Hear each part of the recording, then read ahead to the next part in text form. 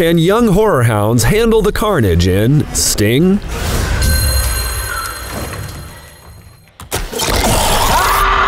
Let's just say it's not for the squeamish. In this dark but well made creature feature, a girl unleashes terror in her apartment building after taking a spider as a pet. Hey there. While the movie has comic elements, scares take center stage. So buckle up for lots of creepy attacks with characters slashed, paralyzed, and webbed, alongside blood sprays, disturbing wounds, gory corpses, and jump shocks. The cursing is a red flag too, with F bombs aplenty, variations on the S word, and other crude language.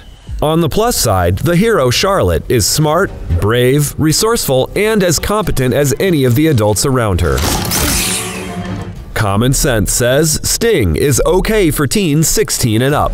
For top picks and advice to fit your family, download our app or visit us at commonsensemedia.org.